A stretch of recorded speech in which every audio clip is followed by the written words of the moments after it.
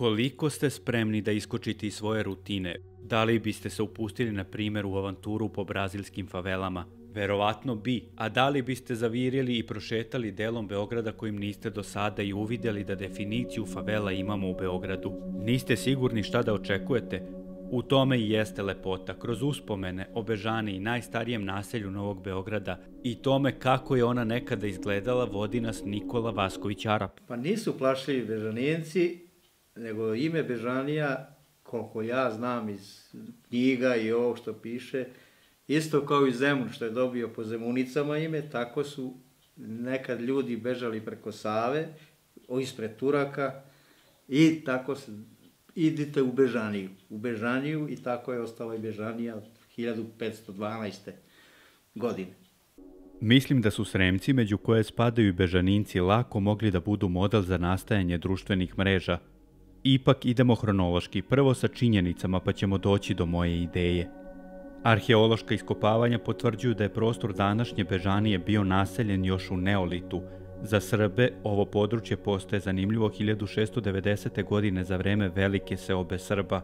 U Bežaniju, kroz Bežaniju, su se dali i austrougarske trupe u Prvom svetskom ratu i Hitlerova armija u Drugom svetskom ratu.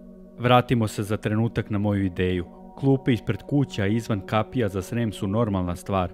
One su okupljale komšije za divan jezikom društvenih mreža za četovanje, Ujedno se moglo osmotriti ko prolazi, ko kome dolazi ili što bi se reklo ko kakav lifestyle vodi. Zavirivanje u tuđe živote je važilo za obližnji komšiluk. Jedina je razlika što je sada postalo globalno. Kako Bežaniju pamti moj sagovornik? Bežanija je kao selo bilo bogato sa divljači. Tako da su i sudije i advokati Zemuna i Beograda dolazili u lov, u Bežaniju. Drugo, Bežanija imala nekoliko kanala i prepuni su ribe bili i čisti. Ja kao dete pamtim da sam pio iz tih kanala vodu.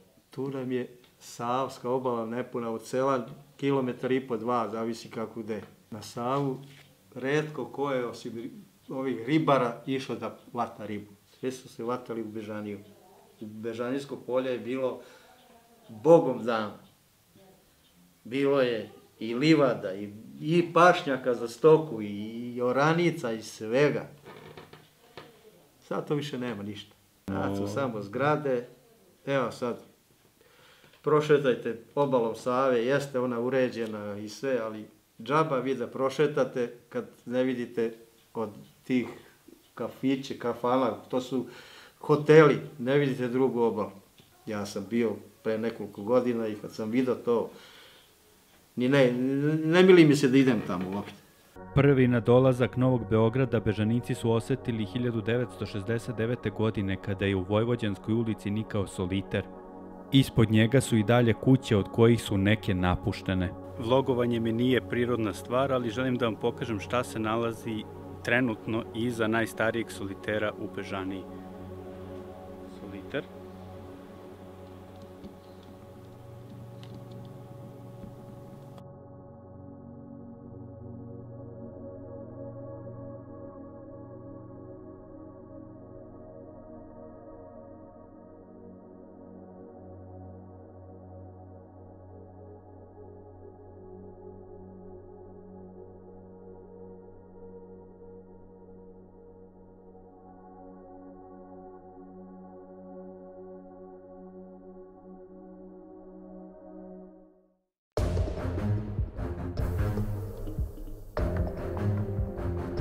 Dok posmatrate unutrašnjost ove sremske kuće, želim da podelim informaciju da usmeravam kanal ka putopisnim pričama koje će ići pod nazivom Skrenuo sa puta.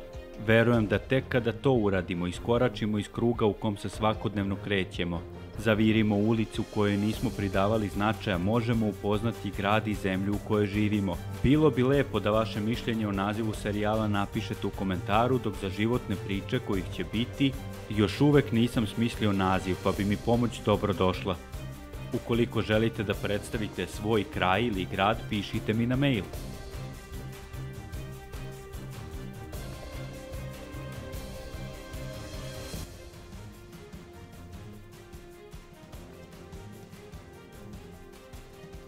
Čujmo iz prve ruke kako je bilo gledati nicanje Novog Beograda. Pa bilo nam interesantno. Eto, mogli smo, mi deca tad već, da sam ja deseta godina imao, naučio da vozim bicikli, pa sad od Bežanije do studenskog grada, to je 3 km, ajde, aj, deca, mi troje četvora skupimo se i dajemo. To je 11. april, to su bili, to se zvalo Redut, taj deo. To je bila najplodnija zemlja. To su bile njive, Bežanijska kosa kao Bežanijska kosa, sve vinogradi su bili. Ljudi su, bile su kuće i bašte su ljudi imali i onda breg nije moglo se radi, nego voće i vinograd se posađivo. Ta su onda bili samo studentski grad. Trno, Crnotravska ulica, ta barake su bile tu. Tošik bunar je bio, tije Džakarta, tu kafana. Eto, tamo 65. godine kad sam pošao u IMT u školu, na zanat, tu se već skupilo ljudi, dolazili su iz Srbije, iz drugih krajeva, cele Jugoslavije tu na školovanje. Tako da se poznanstva se širila. Bilo je interesantno.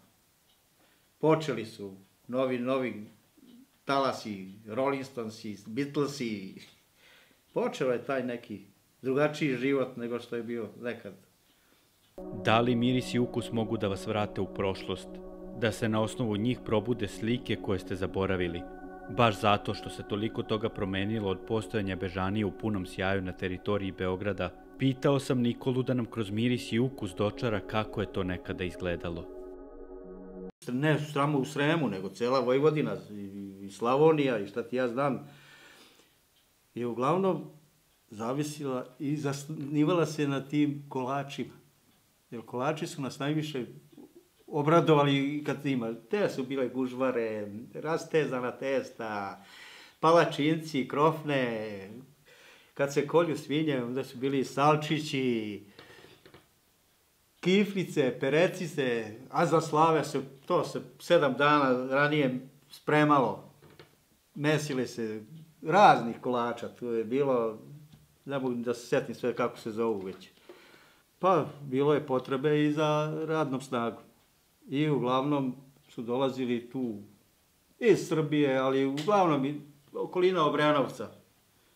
Ta sela su ljudi dolazili, to po 100-200 njih dođe, stan, u, tu na kumine kafane, nekad se zvala Koćire, inače to je da nekad kafana bila Donji Srem. I ja odem, treba mi trojica da idu da kopaju kukuruze, da beru kukuruze i šta ti ja znam. I to je. A normalno, išlo si i, i ti sad na njivu sa njima. I onda, kad dođu sa njive, dok ljudi i oni spreme oko stoke da ovo, žene su na brzinu spremali ta jela. E, to su bili paradajz čorba, krompir čorba, šta ti ja znam. Kad se neki posao radio, ako žena nije išla na njivu, onda je pasulj se kuo. To je Svi su volili to. To je najglavnije jelo bilo.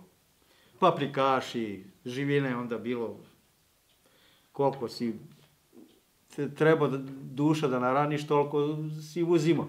Ima mesa, vina i, i rakije bilo prirodnog, domaćeg. Meni su ta jela bila ukusnija nego sad ova.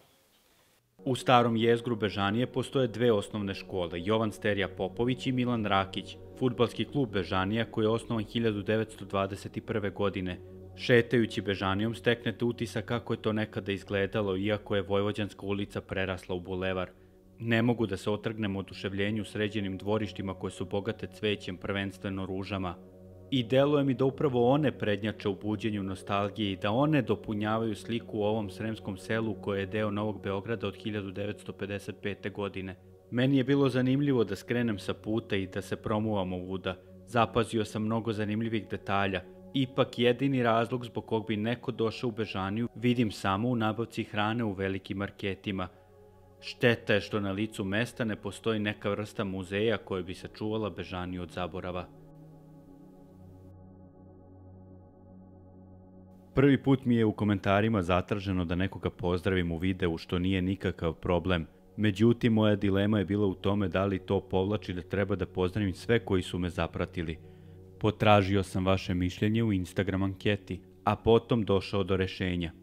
Viktore Stankoviću, pozdrav za tebe i velika zahvalnost za sve vas koji ste me već zapratili i koji mi pozitivnim komentarima dajete vetar u leđa.